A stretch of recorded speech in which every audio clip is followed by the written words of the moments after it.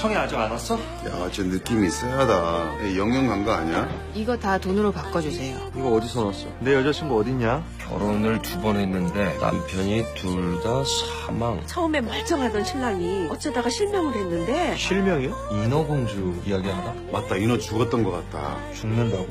허준재 가족? 나 무슨 동화 속에 온 거냐? 네가 세상 속으로 나온 거냐?